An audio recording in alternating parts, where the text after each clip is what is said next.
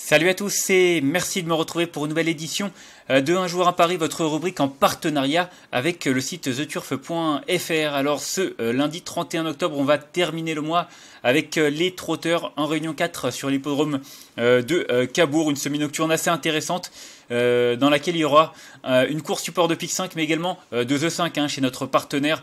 ce sera la troisième course du programme, le prix de Fauvillanco prévu à 17h03. C'est une compétition pour des chevaux de 7 à 8 ans n'ayant pas gagné 151 000 euros. 14 euh, concurrents euh, qui vont en découdre sur 2725 mètres, un des parallèles de l'autostar. Du coup, voilà, euh, deux lignes dans cette course avec 7 concurrents qui seront en première ligne et 7 en seconde ligne. Promet d'être une course assez sportive. le lot est assez homogène et je pense que le parcours va faire la différence dans cette compétition. J'ai décidé de vous conseiller un The 2 sur 4 avec 3 concurrents. voilà, on va commencer euh, dans l'ordre du programme avec le numéro 2, Fakir Stardust. Alors Fakir Stardust, il est en grande forme euh, actuellement. Il reste euh, sur 3 victoires en 4 sorties. Et les 3 victoires qu'il a obtenues, c'était avec des départs lancés à l'aide de l'autostart et des ferrés des postérieurs. Du coup, les mêmes conditions que actuellement. Alors il a surtout couru corde à gauche, hein. il n'a pas forcément énormément de références corde à droite maintenant.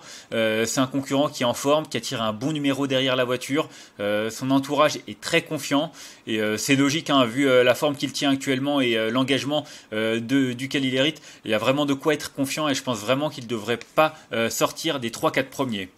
Ensuite, j'ai retenu le numéro 4, hein, Eleven Chapter, qui a vraiment retrouvé la bonne carburation euh, ces euh, dernières semaines. Il sera confié à Johan Le Bourgeois. Il est déféré euh, des quatre pieds. C'est vraiment un, cheval en grande forme.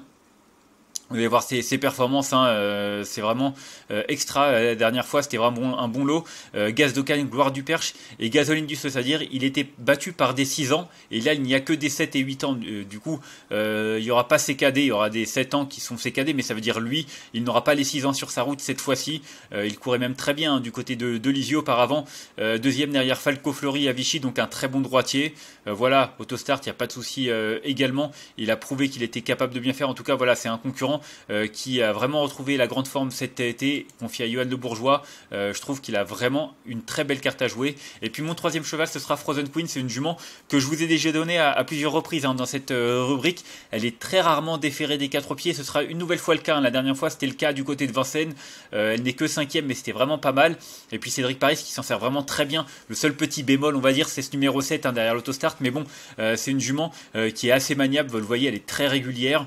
une nouvelle fois déférée des quatre pieds, comme j'ai dit, c'est vraiment euh, assez rare, donc c'est un signe de confiance. Euh, voilà, en plus, elle retrouve la piste de Cabourg. Euh, c'est la piste qui l'a vu remporter son dernier succès. Donc voilà, l'aptitude à ce parcours va également jouer en sa faveur. Et c'est vrai que j'aime beaucoup sa candidature.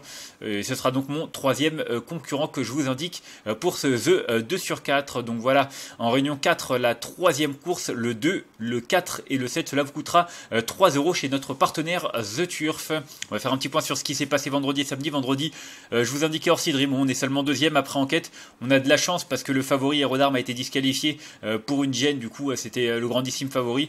La place rapporte 1,40, ça nous permet de récupérer notre argent. Et puis samedi, du grand n'importe quoi avec Juliette Papa Bravo qui s'est coupé la gorge avec Jamaica Turbo dans la, course semi-classique dans laquelle les deux étaient favorites. Et c'est vrai que l'une a fini au galop et l'autre a fini au pas.